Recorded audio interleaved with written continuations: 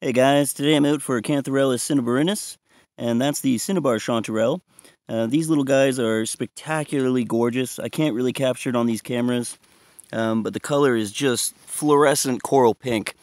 Um, they're incredibly delicious. They're very, they're smaller than regular chanterelles, like golden chanterelles, uh, but they are just equally as meaty. Uh, you got to collect quite a few more of them to, to make a meal, but they are exquisitely delicious. More often than not, you'll find uh, Cantharellus cinnabarinus uh, growing with oak or uh, beech, and occasionally maple as well. But um, oak, I find them on probably most commonly, and then pine, red pine. They really like pine as well, and probably a couple other varieties of pine as well. But I always find them with red pine. Very tight. So yeah, you want to look, keep your eye out for these big, massive oak trees. Uh, like I said, large beech as well, maple. They really like hardwoods. And uh, pine is sort of the exception to that. They really like pine as well. And uh, they grow gregariously, so you'll always find them kind of growing in groups. Very seldom you'll find like just one. You know, this tree here probably has about 15 on it at least. So nice. Oh, baby.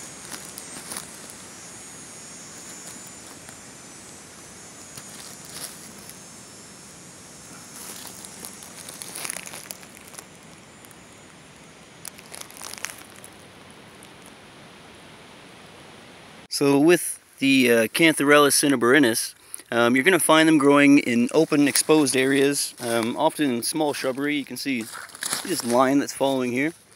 They always follow a root, so you can see uh, they'll typically grow in, in sort of a line pattern.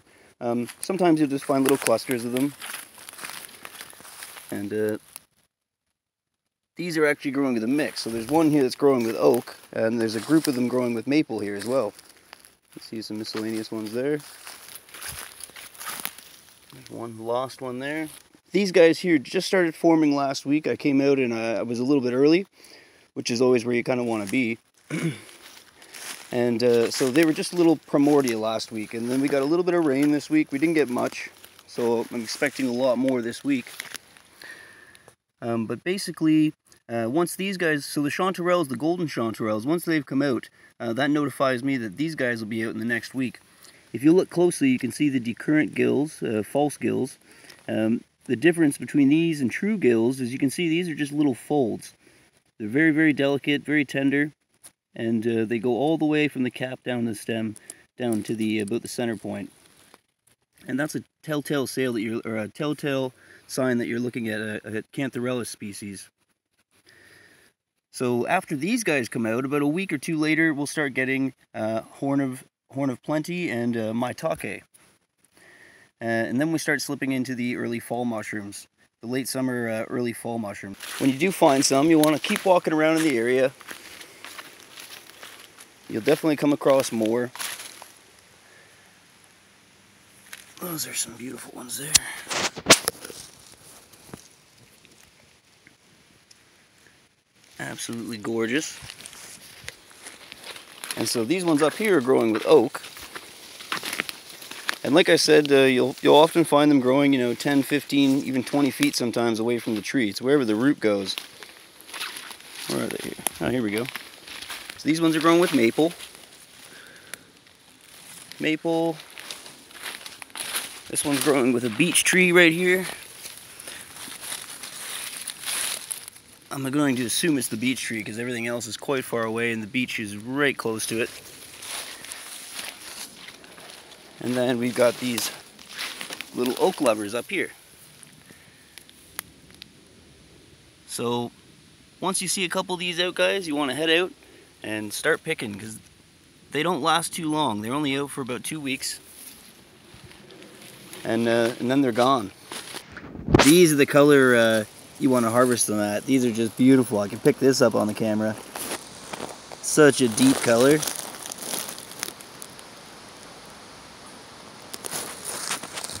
Beautiful.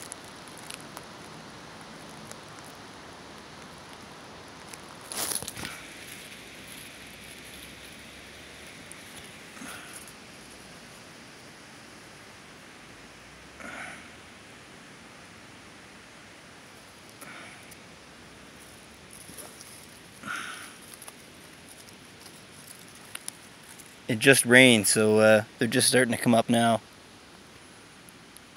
But uh, I take these little butts back so that I can take some of the living tissue off it and clone it onto agar. Those are so nice. So when it comes to harvesting uh, Cantharellus cinnabarinus, uh, the cinnabar chanterelle, you basically want to, it's very simple, I shouldn't even have to show you guys this, but I'll do it anyways, just for your intention. You basically want to grab around the base of the mushroom and just gently pull up. These mushrooms don't really tear over a huge root base, so they're very, very easy to harvest. Just a simple pluck.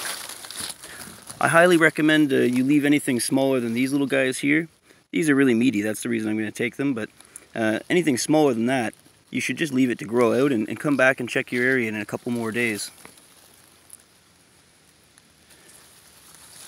But you can see that. You don't need to cut chanterelles, and I highly recommend you don't. Um, you're probably going to do more damage by cutting it with a dirty knife that you've just transferred, you know, mold and bacteria from one end of the forest to the other on. Uh, a lot of people don't think of that kind of stuff, but um, you know, before they make these huge claims that, you know, you've got to cut your mushrooms. No, you, you got to take it delicately uh, and not disturb the soil around them, but you can harvest mushrooms very effectively by just grabbing around the base and gently plucking and twisting at the same time. And as a mushroom cultivator, I've grown over 100 species of mushrooms. I can tell you that about 99% of them uh, should be harvested that way. So nature is sort of the same way. Uh, in my opinion, the mycelium that's under the ground is more important. Uh, that's what produces these mushrooms, and the mushrooms are expendable. So they basically create these mushrooms. In my opinion, they make them tasty on purpose for in terms of mushrooms that are edible and, and do taste good, have a culinary appeal. They do that on purpose so that other organisms will come in search of these and, and in search of the smells and the, the flavors and the nutrients.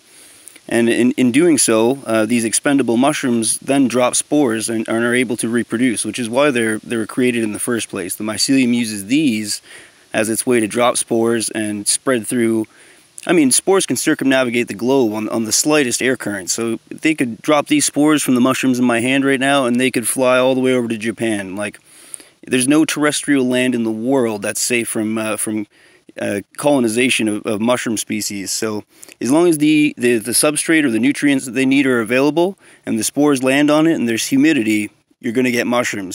So because I don't have uh, Cantharellus cinnabarinus on, uh, on agar plates yet, uh, I'm going to be taking, if you look down here, that white fuzzy mycelium around the base of those little primordia, I'm going to be taking that back to the lab and uh, we'll be able to cultivate this one. I have a couple good mycorrhizal uh, recipes uh, for agar and I've successfully gotten uh, the white morel, black morel, gold morel, and burn morel to grow as well as uh, golden chanterelles, uh, blue chanterelles, um, Russula brevipes, um, King Bolete, uh, Boletus edulis, uh, Matsutake, white Matsutake from the west coast, which is Tricholoma magnivelare, and uh, several others. But basically, uh, my company is trying to um, collect as many of these mycorrhizal, uh, mycorrhizal species as we can and uh, get them onto culture so that people can start growing or trying to solve the, the riddle of growing mycorrhizal mushrooms. Now, so mycorrhizal mushrooms are mushroom species that uh, whose whose mycelium forms a symbiotic relationship with with a host tree. So an ectomycorrhizal host would be, um, like say chanterelles, these uh, these cinnabar chanterelles, for example, they'll form a symbiotic relationship with oak uh, and maple and beech. And in doing so, uh, basically what happens is the roots of these cinnabar chanterelles can extend a lot further than the, the roots of the tree. And uh, in exchange for sugars from the tree, which the mycelium uh, uses to form these little mushrooms uh, and drop its spores, in exchange, uh, the tree gets uh, water because uh, mushrooms, as they grow through the soil or whatever substrate they're growing through, they actually push water through it and they give water off as a byproduct almost. And so what happens is they give the tree the extra water and they also give the tree their excess nitrogen. So basically the tree gets its nutrients and water from, from these mycorrhizal mushrooms and, uh, and basically, any healthy forest uh, has to have these species present. Um, you, you'll never find a forest uh, that has a healthy biodiversity or, or a healthy um, sort of environment uh, or a smaller, or smaller ecosystem. Uh, it won't happen. You need to have these mycorrhizal mushrooms. They decay and they create a food source for numerous insects, uh, which, you know, being on the, the lower end of the trophic level, kind of channels up and feeds the the higher trophic predators uh, and getting up into the mammals and uh, and so on and so forth. So not only being a, a food supply for us, they're also an incredible uh, sort of balancer in nature. And uh, they feed a lot of different organisms that would honestly go extinct if they didn't have these mushrooms to eat. So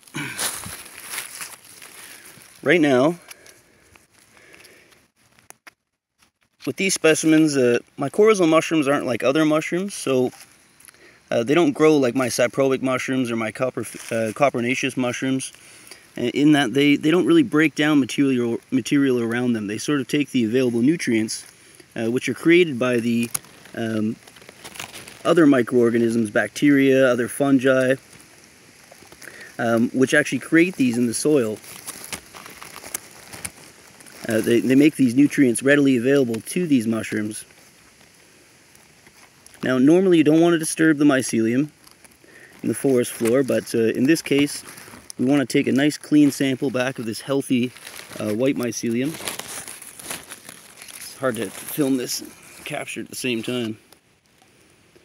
So you can see here, and we bring these guys back, and these will go on plate tonight. Now the reason why I take a little bit of soil with me around the roots is because um, a lot of the reason people can't get these guys to grow uh, in a contained environment is for one, they're not trying to grow them with an ectomycorrhizal host, which is key. Um, because these mushrooms don't break down, they're not the huge decomposers everybody thinks they are. Um, they also can't create their own nutrients. So even growing them on petri dishes, you have to constantly transfer them. Otherwise, they'll they'll eat the simple sugars uh, and then they die. That's sort of without that constant uh, food source, that supply of nutrients from the tree, these mushrooms can't survive either. So they really, it's a fascinating uh, sort of relationship in nature. One of many. You can see here, I got a nice handful. Oh, these freaking mosquitoes, crazy.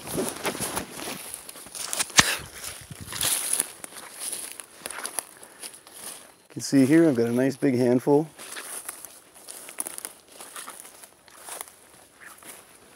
Got a nice little handful here. And, uh, you know, once you find a couple of them, you know that they're out in season. So last week I was a little bit early, and they were just starting to come up, a couple of little young pins. And uh, today we're going to be out finding uh, the next sort of big wave, because we just got some rain two days ago. And uh, hopefully in another two days, we're supposed to get some more rain. These videos just don't do them justice. They're like the most incredibly beautiful pink, like coral pink colored uh, little guys here. And You'll most often find them growing out of exposed soil. Um, you know, sometimes you'll find them pushing leaves up, but they, they really like the exposed soil. And they also grow out of moss very commonly. So, um, and always when you find these guys, have a quick look around. They do grow gregariously, and uh, so you'll often find, you know, if you find one, you probably find 20 or 30 of them. And they are just stunning, aren't they?